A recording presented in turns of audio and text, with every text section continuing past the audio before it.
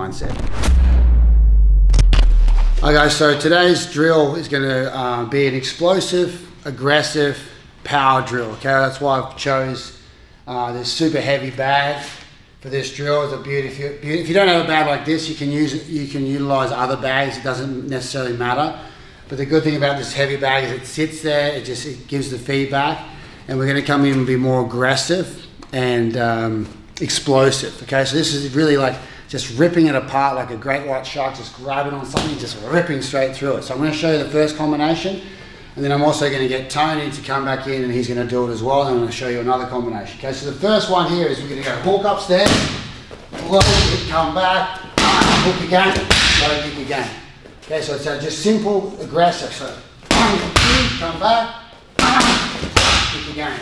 Okay, so every shot's trying to break someone in half here. Good, come back down again, come inside, hook, hook, leg kick, come back, hook, hook, leg kick. Everything's power, power, power. So one, one, two, up, And power through that last kick. So Tony, I'm gonna get Tony in here now. He's the, he's the professional fighter now, not me. Okay, so just gonna do the hook, hook, right load shot, come inside, hook right, hook left. So right, right hook, left hook, and chopping. Yeah, so again, so it's the hook, chop, hook, hook, chop. So we're going to do this aggressive, five times attack. Ready? One. Yeah, two. Three. Yeah, four. One more, five.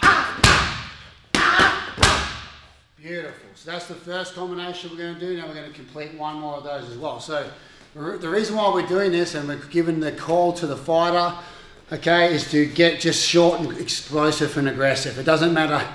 It doesn't have to be for time on the clock. Okay, it could just be getting in there, just doing it five, six, seven, eight, nine, ten. Could be 20 depending on your level. Okay. So this time around we're going to come in with a, just a, without the first hook. We're going to come step in, big hook, rip again, rip again, chop, then low body shot, chop again. Okay, so again, it's very circular motion because it's very aggressive versus long and straight techniques. Okay, so we come inside here, we're here, shot the leg, then we stop, we go back, one onto the body, chop again on the leg. Okay, so one more time demonstrating here. One, two, three, four, come back, five, six on the end. Okay, good. Tony, let's go again. Get him in here. So let's do that again. So we're going to go right hook, left hook, left hook, chop, left liver shot, chop again.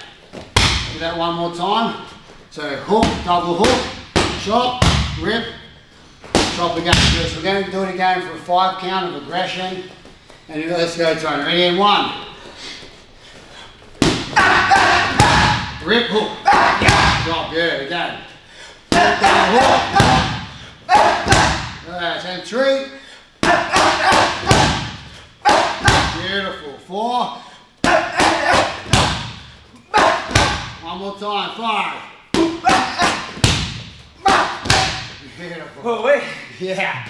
Yeah, so it takes your lungs away, it explodes. Aggressive is explosive. So this is really important to train uh, this kind of style of movement. Of course, you can do long range and, and, technique like this, but to get that heart rate, to get that aggression, to get that feeling like you're in a fight. Okay, again, if you don't have a heavy bag like this, you can just use a long bag and uh, keep training. Go hard. Let's go.